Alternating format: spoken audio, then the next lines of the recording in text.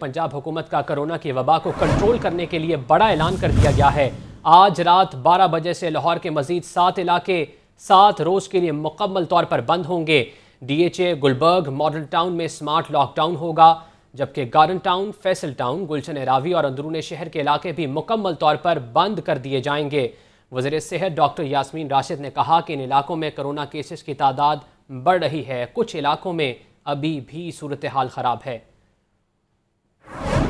Repeat कर दूँ कि जो इलाके जो हैं अगले इस पूरे हफ़्ते के लिए क्योंकि ये दो हफ़्ते का अरसा था इस पूरे हफ़्ते के लिए अगले हफ़्ते के लिए Gulberg complete Model Town complete Faisal Town complete Garden Town complete DHA Gulshan Ravi और वॉल्ड सिटी ये इलाकों को मुकम्मल तौर पे इसीलिए बंद किया जा रहा है कि यहाँ पिछले दिनों जितने टेस्ट हुए हैं उसके अंदर आ, और ये आज रात 12 बजे के बाद होगी रात 12 बजे के बाद तभी आज मैंने इस वक्त किया प्रेस कॉन्फ्रेंस ताकि इस इलाके के लोगों को पता हो कि कल से ये इलाके जो हैं ये बंद होंगे और उनको इसके ऊपर हर किस्म की एहतियाती तदाबीरें इख्तियार कर लेनी चाहिए।